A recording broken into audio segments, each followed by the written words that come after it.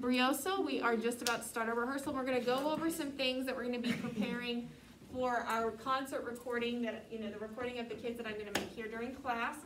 So, these are things that I also want you doing at home because if you're able to come back in person anytime this school year, these are things that you will need to be able to do for your concert as well. Okay, so, we're gonna work on standing still. Now, in a boys' class, there's lots of movement all the time, and normally I don't have a problem with it, right? I just, y'all can sway back and forth, it's just part of being a, a middle school boy, okay, I get it. But when we're, when we're in a concert setting, we gotta, we gotta learn how to rein in that energy, we gotta stand nice and still, so your feet are gonna be about hip width apart, okay? One of your feet should be out slightly in front of the other, one of your knees should be bent. This is just to give you more stability so that if at any point you feel a little faint or something, you have a good kind of solid base. More so than if your feet were side by side, okay? So one of your feet is slightly in front of the other, your hands are gonna be here at your side. Now, the big thing with boys, You don't put. y'all like to put your hands in your pockets, right? So keep your hands out of your pockets. Oh. Here's what you cannot do, get off the wall. Oh. Here's what you cannot do, you cannot hold hands with yourself, none, none of this. Those are pockets. I- Isaac, those are pockets. You Um, can't put your, this is how I like to stand all the time, is I like to put my hands behind my back like this. Whoa. But I don't want that either. Hands have to be right here at your sides, okay, standing nice and still, so just show me that. Yes, sir. Um, one thing that, because I'm very dumb, one thing I like to do is I like to pull my pockets out and I try to make a goal to where I can't put the pockets back in my sh- or my pants, and if they do, then I have to do. Okay, Jake, come on. push-ups. Hands to your Good sides. under five. If it doesn't have anything to do with what we're talking about, then let's not. Well, let's go put them up in the Here you go, hands here. Now remember, your feet are not gonna be touching each other like this. We're not standing military style. We're standing choir style, okay? Hands are here, shoulders are back and down. Please don't let your back hunch over like this, okay? All right, now we're gonna, now we- want this posture throughout. So when we get to the end of the song, you can relax a little bit, but getting to the end of the song doesn't give you permission to start talking. It doesn't give you permission to start making noises or to turn around. We're still standing still, we're still facing forward, okay? Because in between songs, normally we would have an audience that would be clapping for us.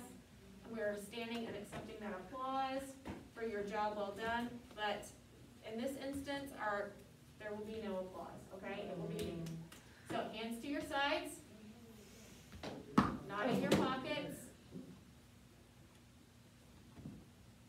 Stand still.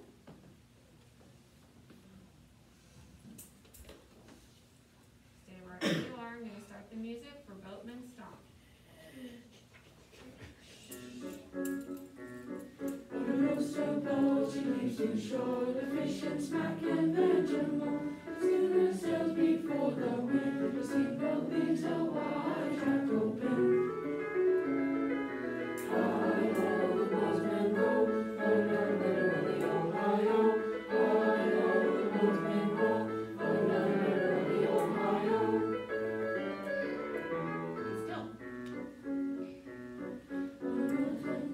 the boatmen sing, the boatmen up to everything. And when the boatmen go ashore, they spend their cash and work for more.